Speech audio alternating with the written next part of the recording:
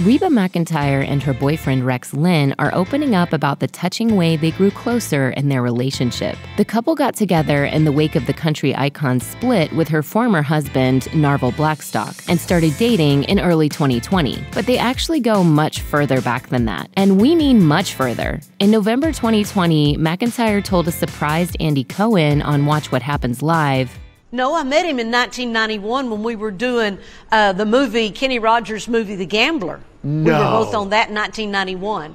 She shared that they reconnected in January 2020, with the coronavirus pandemic really accelerating their relationship when they both found themselves with more time on their hands. McEntire told Cohen, We started texting and talking on the telephone, That's getting to know each other better during the quarantine.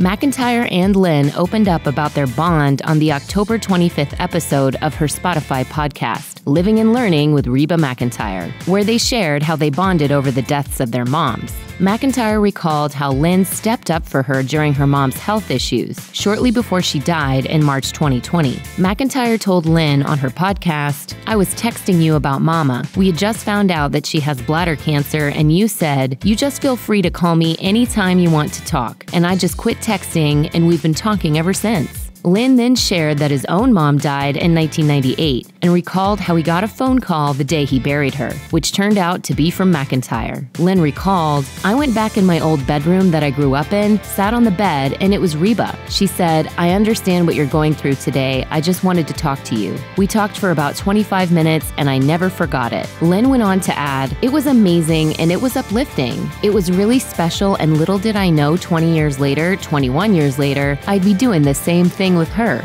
That's why I said to you, if you ever want to talk, just give me a call. Reba McEntire and Rex Linn's grief isn't the only thing they bonded over. The Reba star said there's never a dull moment between the two of them because they always have something to talk about. McEntire told People in October 2020, It's good to have a person to talk to, laugh with, get into subjects about what's going on. Discussions about our past, our family, funny stories, him being an actor, me being an actress, and he's very into my music. I'm very into his career. McEntire added, It's just great getting to talk to somebody who I find very interesting, very funny, very smart, and is interested in me too. It also helps that they have super similar backgrounds. McEntire told Extra, Well, we do know about the music business and the movie entertainment business. He loves to work. I love to work. We were both wannabe cowboys, cowgirls, and then got into the entertainment business. We have a lot of similar loves and passions. We just get along so well. As it turns out, Rex Linn is the man Reba McEntire has waited for her entire life.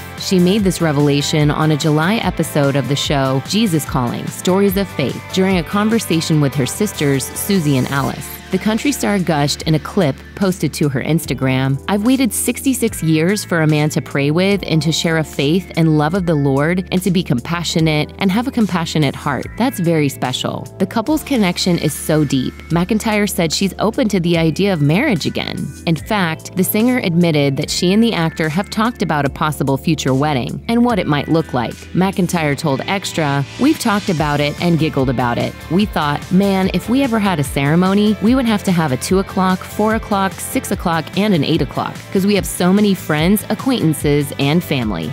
Check out one of our newest videos right here. Plus, even more Nicki Swift videos about your favorite celebs are coming soon. Subscribe to our YouTube channel and hit the bell so you don't miss a single one.